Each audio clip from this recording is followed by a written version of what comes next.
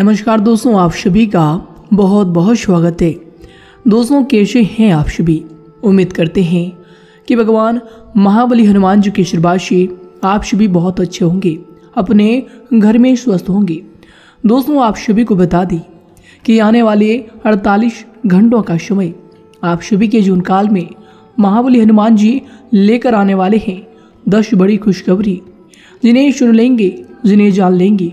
तो दोस्तों, सारा परिवार खुशियों से मिठाई बांटेंगे और घर परिवार में ऐसी खुशियों की लहर दौड़ने वाली है। दोस्तों, जानकर सभी लोग हक्के बक्के रहने वाले हैं। कि दोस्तों, आप सभी को बता दें कि आप तो जानते हैं कि ग्रहों की स्थिति यश में आपके लिए शुभ बनी हुई है। परंतु दोस्तों, साथ ही साथ आप सभी को बता दें कि महाबली हनुमान जी का भी आशीर्वाद अब आप सभी की कुंडली में पड़ने वाले हैं। कि दोस्तों, आप सभी को बता दें कि अगले 48 घंटों के अंदर जो ग्रहों की स्थिति बन रही है दोस्तों, उनमें आपको सभी प्रकार के दुश्मनों से मुक्ति मिलने वाली है। जी हाँ दोस्तों, और संकटों के निदान महाबली हनुमान जी, आप सभी के लिए बहुत बड़ी बड़ी खुशखबरी लेकर आए हैं। जी हाँ दोस्तों तो दोस्तों, हमारा आप सभी से बस यही विनम्र निवेदन रहेगा कि आज की इस वीडियो को आप भूल कर भी मिस ना करें। और दोस्तों, शुरू से लेकर अंत तक बिल्कुल ही ध्यान से समय निकाल कर देख लीजिएगा। जी हाँ दोस्तों, जो भी वक्त आज के इस वीडियो को अंत तक देख लेगा और जो भी बात हम बताने वाले हैं उन्हें सुन लेगा।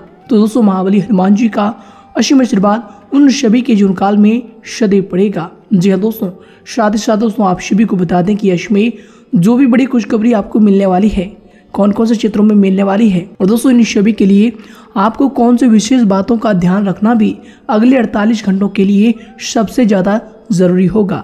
दोस्तों, सभी बातें घरों के गोचर पर निर्मित आज के इस वीडियो में हम बताने वाले हैं। जिन्हें जान लेंगे तो दोस्तों आप सभी का जीवन पूरी तरह संपन्न हो जाएगा।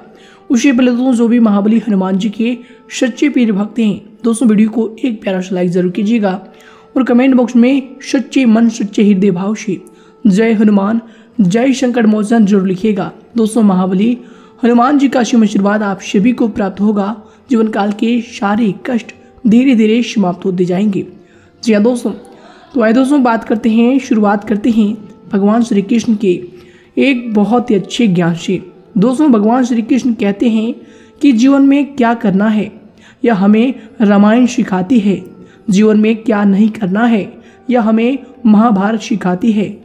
और जीवन को कैसे जीना है? यह हमें श्रीमद् भागवत गीता सिखाती है। और दोस्तों, श्रीमद् भागवत गीता में यह भी लिखा है कि ईश्वर हर इंसान से बहुत प्यार करता है और उनकी अंतरात्मा पर बार बार दस्तक देता है। उसकी आत्मा को जागृत करने के लिए, परंतु कोई तकदीर वाला ही दिल की आवाज़ को सुन पाता है। जी हाँ दोस्तों, जिनके भी अच्छे कर्म, जिनके भी अच्छे नेतृत्व होते हैं, वही भगवान के इस नेतृत्व को समझ पाते हैं, भगवान के इस स्पर्श को समझ पाते हैं। जी हाँ दोस्तों तो दोस्तों भगवान श्री कृष्ण का यह परम ज्ञान, अगर आपको अच्छा लगा हो, सच्चा लगा हो तो दोस्तों वीडियो को एक प्यारा सा लाइक ज़रूर कीजिएगा। और इनके लिए कमेंट बॉक्स में लिख दें, जय श्री कृष्णा, राधे राधे। तो आए दोस्तों से के साथ बात करते हैं कि अगले 48 घंटों के अंदर आप सभी के जीवन काल में महाबली हनुमान जी के श्रीवासी कौन कौन से बड़े और महत्वपूर्ण बदलाव होने वाले हैं? कौन कौन सी दस बड़ी खुशखबरी आपको मिलने वाली हैं? साथ ही कौन सी विशेष बातों का आपको ध्यान भी रखना होगा? दोस्तों इन सभी की महत्वपूर्ण जानकारी देंगे तो दोस्तों अंत तक ध्यान से देखिएगा। तो आए दोस्तों बात करते हैं पूरे विस्तार से। दोस्तों, यश में कोई भूमि संबंधी खरीद फरोख्त का काम संपन्न हो सकता है। धर्म, कर्म संबंधी कार्यों में भी आपकी विशेष समय रुचि रहेगी तथा आपका निस्वार्थ योगदान समाज में भी आपका मान सम्मान और फिर इज़्ज़त प्रतिष्ठा में भी बढ़ोतरी करने वाले हैं। दोस्तों, यश में आर्थिक स्थिति भी आपकी बेहतर रहेंगी। इसके उपरांत दोस्तों, यश में अगर आपकी सावधानी को लेकर बात करें तो दोस्तों, यश में आय के साथ साथ खर्चे भी बढ़ेंगे। अपनी फिजूल खर्ची पर आपको इसमें अंकुश लगाना चाहिए। दोस्तों, किसी खास व्यक्ति के द्वारा ही आपको कुछ नुकसान यश में हो सकते हैं। तो दोस्तों यश में बेहतर होगा कि भारी संपर्कों से आपको दूरी रखना चाहिए। दोस्तों, परिस्थिति को क्रोध के बजाय शांतिपूर्ण तरीके से निपटाएँ तो आपके लिए ज़्यादा उचित रहेगा। और इसके उपरांत दोस्तों यह आपके लिए जो समय होंगे, आपको बता दें कि किसी के भी साथ मिलजुल कर काम करना आपके लिए मुश्किल हो सकता है। दोस्तों यश में आप अपने विचारों पर अड़े रहने की वजह से किसी के साथ भी आपका एक मत नहीं होगा। इसलिए खुद ही काम को पूरा करने की आप कोशिश करें, ये आपके लिए बेहतर होंगे। दोस्तों, यदि आप नया घर खरीदना चाहते हैं या फिर नए घर को शिफ्ट करना चाहते हैं तो दोस्तों, इन बातों में देरी हो सकती है। यश में आपको धैर्य रखने की आवश्यकता होगी। और इसके उपरांत दोस्तों यशो में आपके लिए समय होंगे, आपको बता दें कि दोस्तों, आपकी राशि के लिए जो समय होंगे, जो ग्रह स्थिति होंगे, यश में बहुत ही उत्तम समय होगा, बहुत ही अच्छी ग्रह स्थिति होंगी। दोस्तों इसमें बता दें कि आपकी योग्यता व फिर क्षमता खुलकर लोगों के सामने ज़ाहिर होने वाली है। दोस्तों, विद्यार्थियों को करियर संबंधी किसी समस्या का समाधान भी इसमें मिलेगा। आप अपनी किसी कमज़ोरी पर विजय भी इसमें हासिल करने वाले हैं। दोस्तों, परंतु आलस हुआ फिर ज़्यादा मौज मस्ती के समय समय को यश में वेस्ट ना करें। ये आपके लिए बेहतर होंगे, क्योंकि दोस्तों, यश में आप जो है अपनी क्षमताओं का भरपूर उपयोग करने का समय होगा।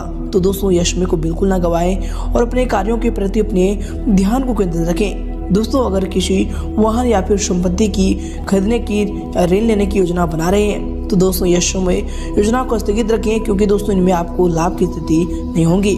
और इसके उपरांत दोस्तों यश समय आपके लिए समय होंगे। आपको बता दें कि दोस्तों, यदि आप काम नए तरीके से शुरू करना चाहते हैं तो उससे संबंधित निर्णय लेने के लिए आपको अधिक वक्त इसमें लग सकता है। परिवार के किसी व्यक्ति के साथ मतभेद होने की वजह से भी कुछ कामों में देरी हो सकती है। जीवन शैली को सुधारने की आवश्यकता होगी, जिससे दोस्तों, आपके लिए मन चाहे रिज़ल्ट पाना आसान होगा। और इसके उपरांत दोस्तों ये समय आपके लिए जो समय होंगे, आपको बता दें कि दोस्तों यश में इमोशनल होने के बजाय चतुराई व फिर विवेक से आपको काम लेना चाहिए। दोस्तों, विवेक से लिया हुआ काम आपके पक्ष में होगा।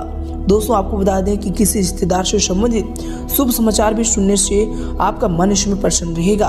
दोस्तों, बंटवारे संबंधी कोई भी कार्य इसमें मध्यस्थता से हल हो सकती है। दोस्तों इसमें आपको प्रयास करना चाहिए कि अभी इनका जो है बंटवारा ना हो।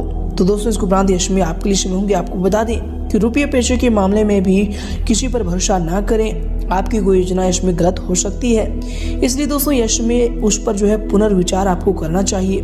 अत्यधिक गुस्सा आपके लिए यश में आपके स्वास्थ्य और आपके कार्यों में हानि का कारण बन सकता है।